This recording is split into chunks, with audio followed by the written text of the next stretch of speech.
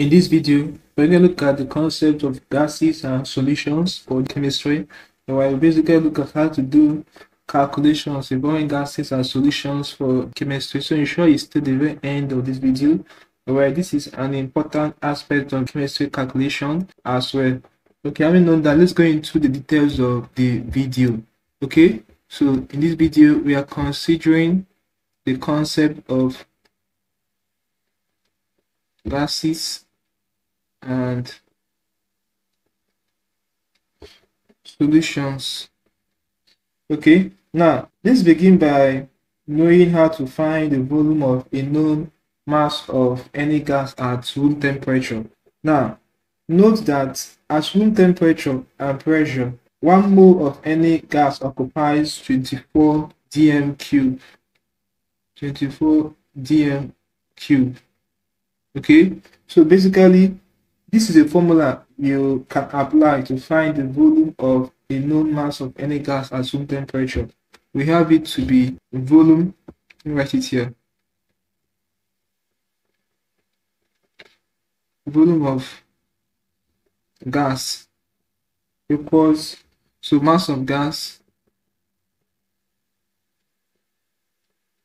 alright, over relative formula mass of gas. Okay times one mole of gas occupied which is what? 24 over 1 so remember i said that one mole of any gas occupies 24 dm cube at room temperature and pressure. All right now let's start a typical question of this and see how we can apply this formula to it to solve it. So let me get a question Okay guys, so let's look at this question. It says, what is the volume of 319.5 gram of chlorine at room temperature and pressure? Alright, so this is chlorine gas. Okay, so to find the volume of this gas at room temperature and pressure, we're going to apply this formula we have here. Okay, so we have the mass of chlorine gas to be 300 19.5 over now the relative formula mass of chlorine gas remember this is chlorine gas so it will be we have the relative atomic mass of chlorine to be 35.5 all right so the relative formula mass will be we add the relative atomic mass of the atoms so the relative formula mass will be 35.5 okay times 2 since we have two atoms of chlorine here so 35.5 times 2 will give us 71 gram per mole.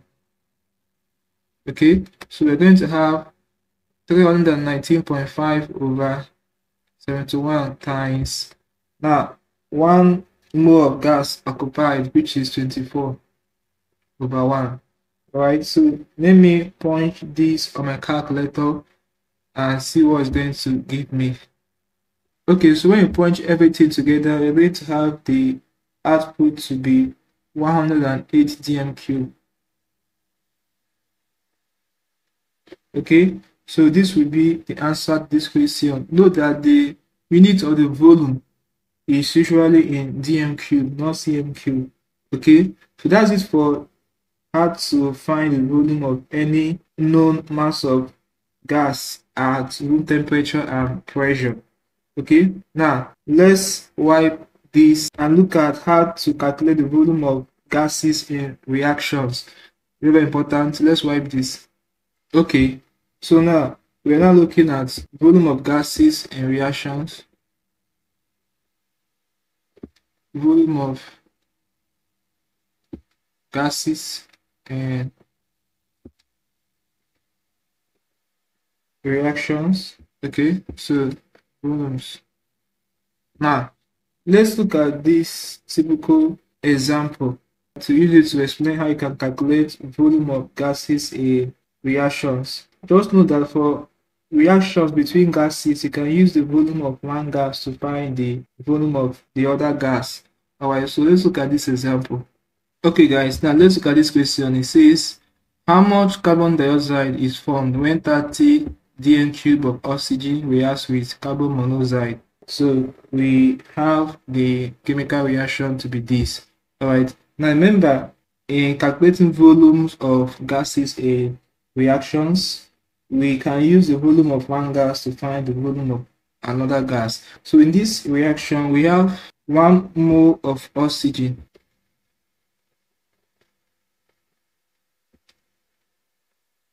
of oxygen gas reacted with carbon monoxide to give two moles of carbon dioxide.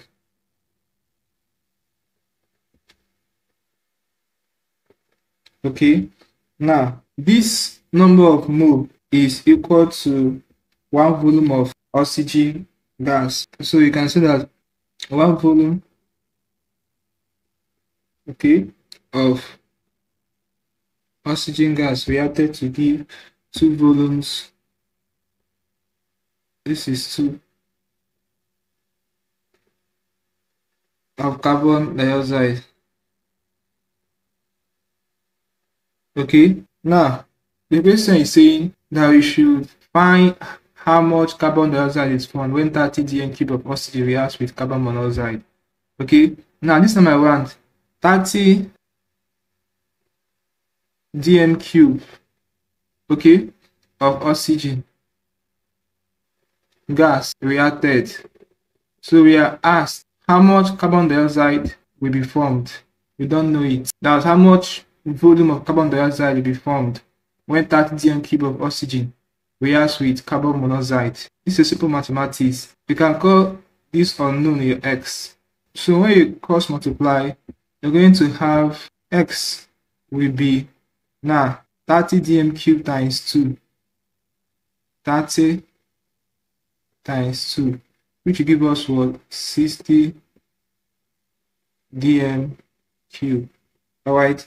Now this shows us that 60 dm cubed that's 60 volume of carbon dioxide will be formed when 30 dm cube that's 30 volume of oxygen reacts with carbon monoxide. Alright, so this is basically how I can deal with this kind of problem. You can use the volume of one gas to find the volume of another gas. It's as simple as that, guys. Now, let's look at how you can calculate the concentration of a solution in gram per dm cube. Very, very important. How you can calculate the concentration of a solution in gram per dm cube. Okay, now let's wipe this and look at the concepts. Okay, so we're looking at how you can calculate concentration of a solution in gram per dm cube. Alright, now note that when concentration is in gram per dm cube, this is a formula you can apply. Okay, for it, concentration equals mass of solutes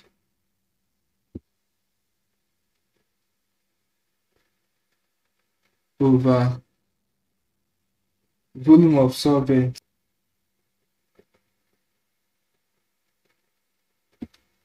okay. Now note again that concentration can be in mole per dm cube all right now this time around when concentration is in mole per dm cube you can apply this formula concentration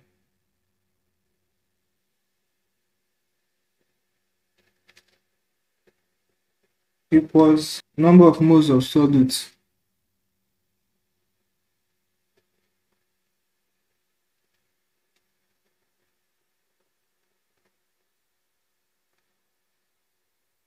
over volume of solvent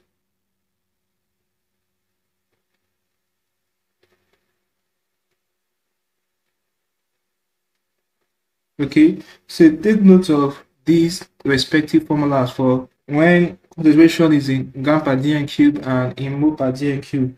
Note again that concentration is a measure of how crowded things are. Alright, now let's look at a typical question or let's look at questions on how we can apply each of these formulas we have here. Let me bring this question. Okay guys, let's look at this question. It says, what is the concentration in gram per dm cube of a solution of sodium chloride? We have 30 gram of sodium chloride is dissolved in 0.2 dm cube of water. Alright, so remember, we're going to apply this formula concentration equals mass of solutes over volume of solvent. So our mass of solutes, sodium chloride, which is 30 over volume of solvent is 0.2. Alright, so when you simplify this, when you punch it in a calculator, you're going to have it to be 150 gram per dm cube. Alright, so this will be the answer to this question. It's as simple as that. Now let's look at one more question that involves concentration in mole per dm cube and after it we can call it a class. Let's write this. Okay guys, let's look at this last question for this video. It says, what is the concentration in mole per dm cube of a solution with 2 moles of salt in 500 cm cube? Alright, so remember we're going to apply this formula concentration equals number of moles of solutes number of moles of solids over volume of solvent. All right. Now we have the number of moles to be 2 so this will be 2 over. Now, the volume here is 500 cm cube. We need to convert this 500 cm cube to dm cube, alright, because the unit here is mole per dm cube. Okay, so to convert 500 cm cube to dm cube, all you have to do is to divide 500 by 1000. So 500 divided by 1000. Alright, so you're going to have the output 5 into is a 1 5 into this 2 so you're going to have it to be half or 0 0.5 so this is 0 0.5 dm cube now. When you bring it here to be 2 by 0 0.5 so when you simplify this we are going to have it to be 4 mole per dm cube. Alright so this will be our answer. This is basically how you can deal with problems involving gases and solutions. We looked at how to calculate the volume of any known mass of gas at room temperature and pressure. We also looked at how to calculate the volume of gases in reactions. And lastly, we looked at how to calculate the concentration of a solution in gram per dm cube or mole per dm cube for chemistry hope you learned something interesting from this video. Now if you are new to the channel ensure you check the description of this video below. You see link to our telegram channel. Click on it and join the telegram channel for instant notifications. Also ensure that you are subscribed to this channel by hitting the subscribe button for more videos like this. Like share and comment on this video. Tell me how you feel from what you have learned from this class. If you seem to have any specific questions to ask regarding this topic for chemistry feel free to leave your question in the comment section below and I'll ensure to give you a response. Okay, now click on the end screen above and I'll see you in the next video. Thanks for watching.